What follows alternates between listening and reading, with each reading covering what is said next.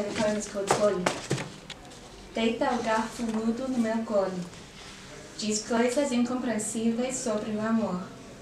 Diz coisas domesticáveis sobre a vida e o ódio.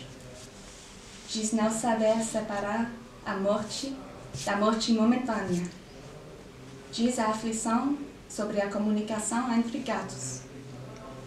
Deita a faca nua no meu colo.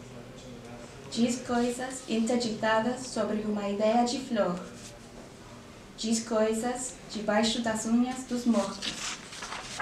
Entre seus cabelos, deita o prato sujo no meu colo. Diz coisas e diz e dança os dedos. Deita o corpo trincado no meu colo. Diz coisas, diz coisas, e tudo que escuto eu rasgo nesse nosso manso idioma. Lap. Lay the mute fork in my lap. Say incomprehensible things about love. Say domestic things about life and hate. Say not knowing how to tell death from technical death.